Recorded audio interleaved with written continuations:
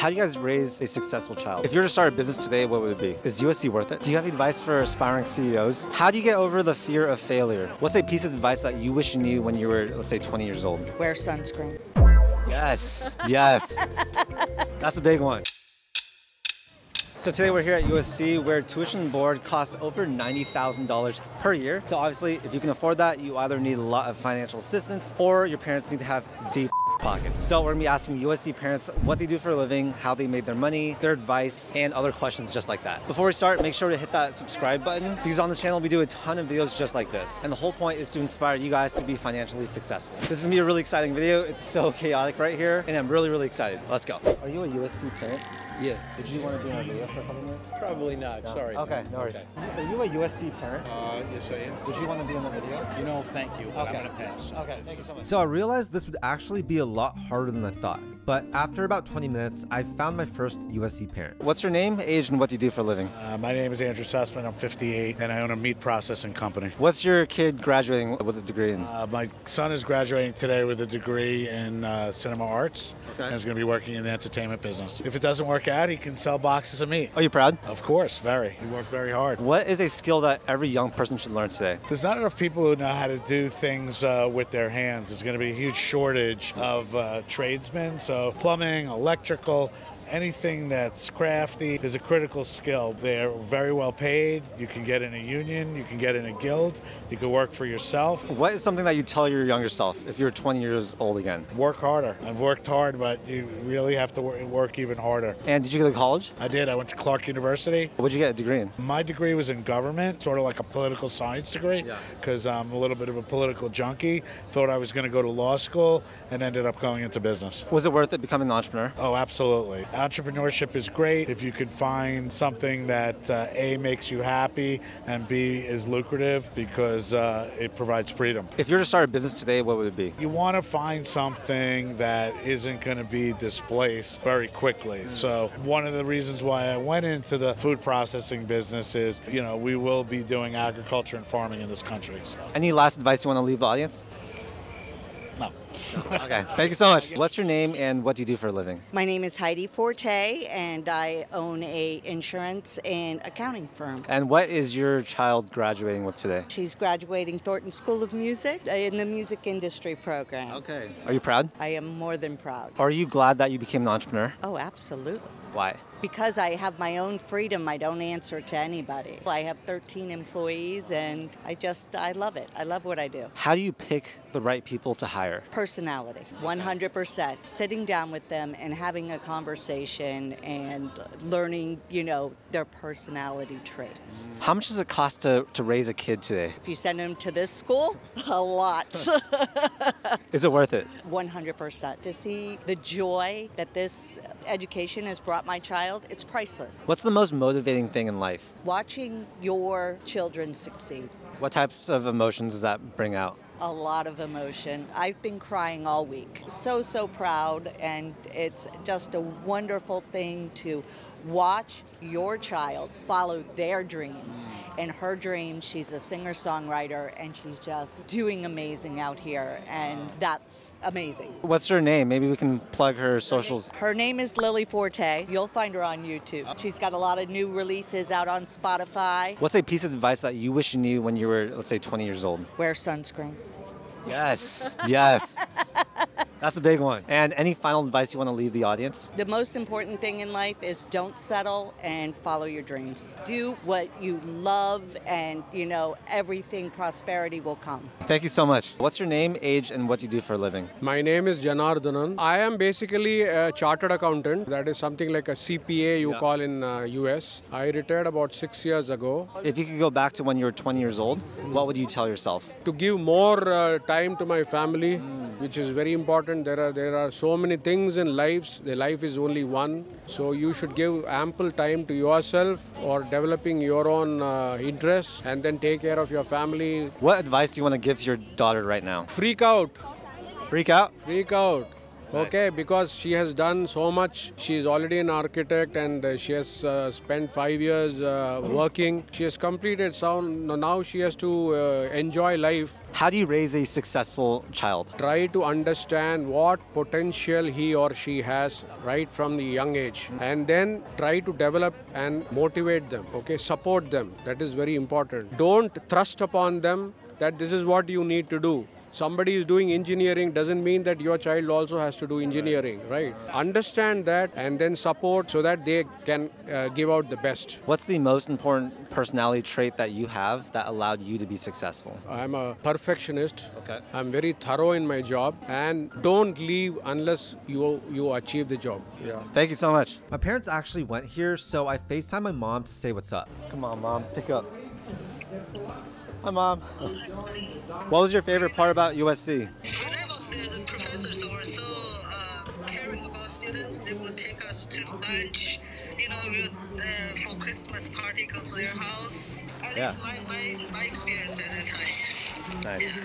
Okay, I'm going to go continue these interviews now. Okay. All right. You look great. Thank you, Mom. You look great too. Yeah, very sharp. okay, bye. All right, love you. Love. Bye. I knew she was going to watch this video, so it was time to find some more great people to talk to. What are your names and what do you guys do for a living? Uh, Jim McAlooney, and I'm a commercial insurance broker. Colleen McAlooney, I'm a director of a women's business center. Do you guys have any advice for young aspiring entrepreneurs? Definitely do your research. Make sure you know who your target market is. Make sure you know who your competition is. And then also to um, not rush into it. You know, make sure that you're financially stable. I mean, a lot of entrepreneurs have to work a full time job and have their um, own business as a side hustle for a while. So just you know, take your time and do it the right way. And what is your son graduating with today? He's graduating with a Bachelor of Science in Chemistry with a theater minor. And are you guys proud? Oh, very. Oh my gosh, yeah. he came in as a theater major and a chemistry minor and Whoa. switched it up and is going to use that to hopefully inspire people to enjoy chemistry and enjoy science. Okay. How's he going to do that? He has a YouTube channel. Okay. What's oh, the YouTube channel? Media. Back Max Sci. Okay. Yeah. We'll, we'll, drop that down below. If you guys could go back to when you were 20 years old, what would you tell yourself? Don't worry so much. You should um, really think about what you want mm-hmm. and what is driving you and motivating you and follow that passion instead of trying to please everybody else. How do you guys raise a successful child? well, he made it easy. How, how'd you make it easy? I listen to them and you trust the people that are older than you because they know what they're doing. How long have you guys been married for? 35 years plus. Any advice for how to do that? Yeah, you got to work real hard at it. Compromise and collaborate. Yeah. How much does it cost to raise a kid? Ooh. A lot. Was it worth it? Yeah, well, I'll tell you, he's he's Definitely. living proof of it. So yeah. I knew the Obamas would be on campus to watch Sasha graduate, so I set that as my final goal of the day. I kept looking for the Secret Service, but I couldn't find them anywhere. So I thought I'd show some school spirit by buying a lei, but they were $59, so no way. All of a sudden, security yelled and started walking towards us, so we immediately started running.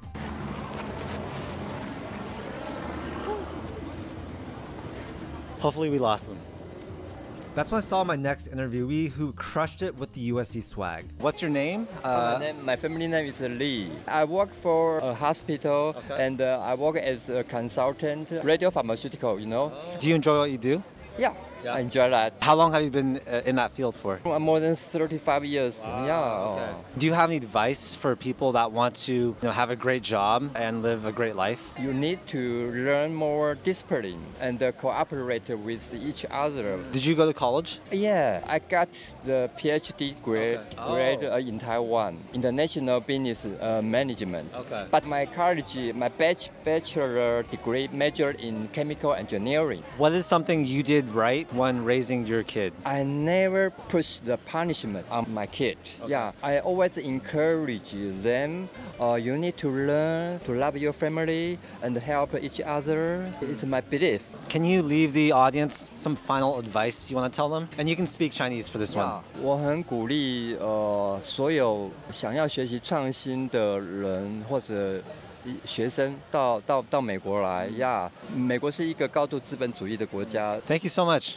What's your name, age, and what do you do for a living? My name is uh, Eric Allen. I'm 52, and I'm an athletic director uh, for a youth organization. And what's your kid uh, graduating with a degree in? This one is graduating with a degree in uh, communication. I had one last year that graduated with a degree, and he was in human securities and geospatial science. And then I have another one that should graduate next year in human bio. How'd you do it? That sounds hard, like raising three kids. It was, but uh, my wife and I made a point early on to make sure that they had everything they needed in order to succeed, making sure we were involved in, in their elementary school, uh, getting them in a great STEM middle school, and then a, a pretty good private school for high school. Uh, they also competed and played sports. They played football as well as run track. So, for anyone that's like in their late teens or in their 20s, what can they do to make their parents' life easier? You're going to make mistakes, but don't repeat the mistakes. I would say that would make it easier. I think every parent expects the, their, their child to bump their head because we bumped ours, but it's the repeated ones that, that kind of make us scratch our head. Is USC worth it? Overall, absolutely. Uh, I think it was worth it, worth the experience, worth, worth the, uh, the networking, the, the friendships developed, the education, the whole nine yards of it. Yes. What's the hardest decision you've ever made in your life? When I left my corporate job, which may have required me to relocate and uproot my family, when I left that to stay in in, uh, in the area that we are now, because I felt like it was a better situation for my family. Uh, yeah, it probably took a lot of money out of my pocket, but it ultimately resulted in this, and I'm not sure if I have I would have three kids at USC graduating if I would have done it differently. Thank you so much. It's David Chang. That's so cool. So, what's your name and what do you do for a living? My name is Sharon Willis, and I am a professional development coach. I work for a nonprofit agency. And what's your uh, child graduating with a degree in? She's graduating with her doctorate in occupational therapy. Wow, you must be really proud. Yes, yes. Well, I had another one that graduated already with her bachelor's, and she got she went ahead and got her master's and now her doctorate. So, is this something you instill in your kids? Like, higher education is really important? Oh, for sure. For sure. My mother instilled it in us, and we instill it in our children all the way down. Is there any advice you want to tell your daughter right now? Just always go for your passion, and that's what she's doing. And what's one skill that everyone should learn at a young age? Don't give up, be resilient, and keep trying because you can still, you can always wake up the very next day and keep on going. Failure is a part of life. It's only making you better and stronger to get to what you really want to do. Is there anything you want to tell your mom? I love her, and she supported me. Literally, has driven me to soccer, basketball games. Comes to every single one of my performances, every single one of my games, my graduations, my anything. She's always there for me. I can always text her and call her whenever I need to. She's my everything. That's amazing. So, what's your name, age, and what do you do for a living? So my name is Victor Wong. I'm 58 years old, and my family runs uh, McDonald's franchises in New York. And what's something that you've learned running your business that you want to share with the audience? You gotta love it. You really do. You know, to be happy, so you can give it your 150 percent. And what's your uh, child graduating with a degree So in? my child just graduated with the master's in uh, occupational therapy. Okay. Yeah, so I'm very proud of her. Of course, it was costly, but well worth it. Is this the most expensive thing you guys have paid for your kid? It's the best investment in my whole life. Oh wow! Yes, Okay. it's a, it's an investment that I again makes me proud, even though I didn't do it personally. right. But I was there to support her 150 percent, and I'm just a very very proud USC parent. Did you go to college yourself? No, actually I didn't. You know, so you know I've been working for McDonald's since I was a kid. That's how I got into the business. Okay. What's the biggest factor that allowed you to be successful? Again, just working hard. You know, you have to work hard, no matter what. Nothing comes easy. How do you build a great work ethic like that? It was instilled in me since I was a kid. You know, we were not very fortunate in the beginning. We're immigrants from uh, from Mexico, and instilled in us to work very hard and try to live for that American dream. And what advice do you want to tell your daughter right now? Enjoy life, work hard, and play hard. And any last advice you want to leave the audience? Love life and love thy neighbor. Thank you so much. My stomach hurts. Maybe it's the bacon I had this morning. I don't feel that good. My stomach started hurting really badly and I almost called it quits, but you know me, I'm gonna try and stick it out, and luckily I did because the last three people I spoke to were all CEOs with amazing advice. So, uh, what's your name, age, and what do you do for a living? I am Farouk Kapan. I am 55. I'm an executive for a big advertising firm. How did you get into that? Right after school, actually, I was in working in the pharmaceutical. And the funny thing, like today, internet just was brand new. And then I just got into the internet and I said to my bosses, this is one of the biggest things going to happen. And they told me, no, it's just a fad. I followed follow my dream and I keep working on it. And I started a company about 25 years ago. Do you have any advice for aspiring entrepreneurs? First, I recommend that right after college, it's always good to go work for an industry or area to learn. And then in the meantime, follow your passion. But passion doesn't come just by itself. You got to understand that you like what you do first, the job. First couple years might be again learning about the industry. But once you understand the industry, you can really invent or come up with an idea, and then follow through. That's the best advice. Can you tell us about a failure that you've made and what you learned from it?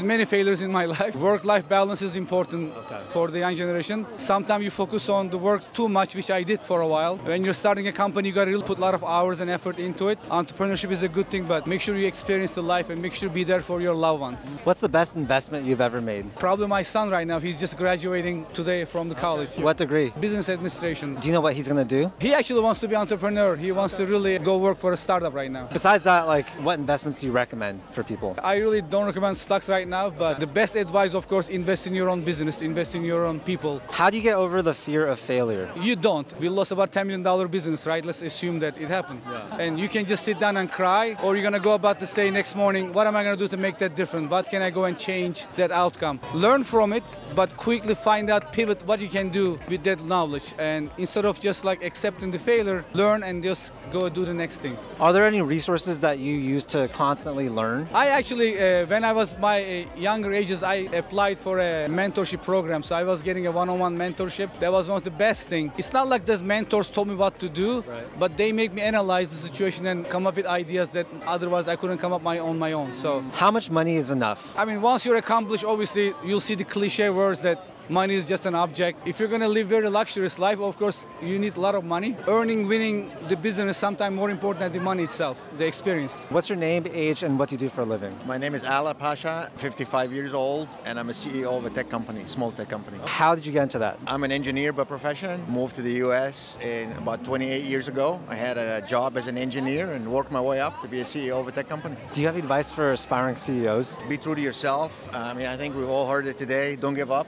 You know, just pursue your dreams, and you know, it's out there. What is a very important life skill that most people don't have? I think actually people skill, regardless of where you work, you're going to be interacting with people. And what's one thing that you wish you started doing earlier? Getting in the habit of like working out, being fit, you know what I mean, early, so it kind of becomes part of your system, if you will. How do you build a good company culture? The way I do it, uh, quite candidly, is I lead by examples. I don't put posters on the walls. I don't say, yeah, we're going to love everyone, we're going to be humble, we're going to be uh, customer centric, we're going to be this. I think probably the best way to build a culture is to build it by example. Love that. Thank you so much. What's your name, age, and what do you do for a living? My name is Andrew Pascal. I'm 57 and I'm an entrepreneur. I have a mobile game company. So, a lot of our audience, they're aspiring entrepreneurs. Would you have any advice for them? So, fairly common words of wisdom, which is find your passion or the things that you're interested in and per- pursue those. And then just get started. Don't overthink and get inhibited by the complexity of things. Just get on with it. How do you get over the fear of failure? I don't know that you ever do. You just come to realize that it's in moments of failure that you learn the most. What is a trait that you see over and over again in successful people? Grit. Don't give up. Don't look at failures as setbacks. Look at them as opportunities to learn something and evolve and, and then just keep moving forward. How proud are you of your daughter? Couldn't be more proud. Uh, what is she graduating with a degree in? She's uh, getting a business degree from Marshall.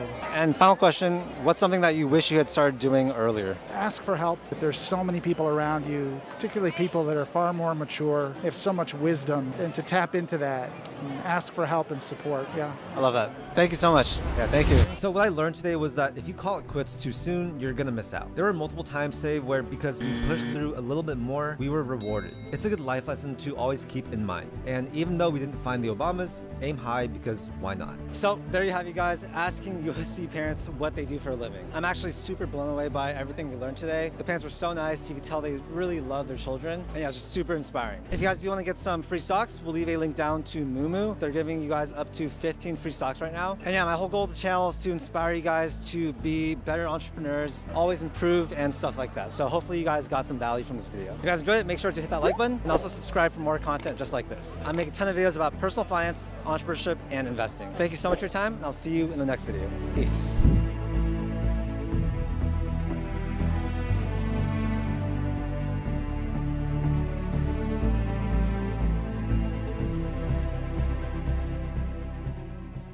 Freak out.